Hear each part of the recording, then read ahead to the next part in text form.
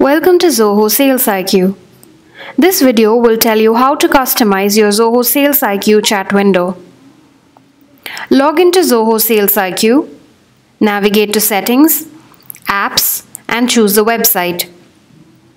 In order to enable the live chat widget on your website, you need to include the SalesIQ widget code inside your website's code. Following this, navigate to the chat window and choose an appearance and size for your chat window. You have options to display or hide the company logo and the operator profile picture inside the chat window.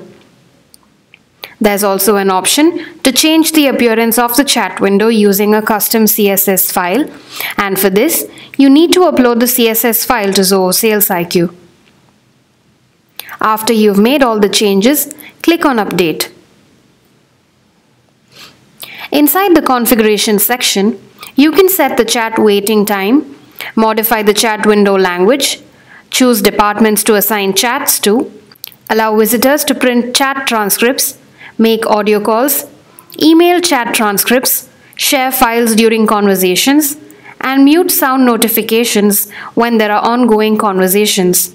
You can also display the screen sharing option, view previous chat conversation, and avail emojis in the chat window. Visitors can also be allowed to access their articles right from the chat window. In the Fields section, you can choose the fields to be displayed inside the chat window. This can be done for both pre-chat and post-chat. You can also set mandatory fields according to your requirements.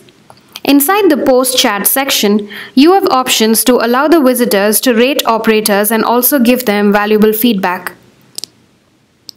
Following this, there is a response section. For online responses, you can configure greeting messages, thank you messages, operator status messages such as waiting messages, busy messages, and engaged messages, and customer satisfaction messages like feedback and rating messages. You can also configure offline responses in this section. I hope you found this video informative. Thank you.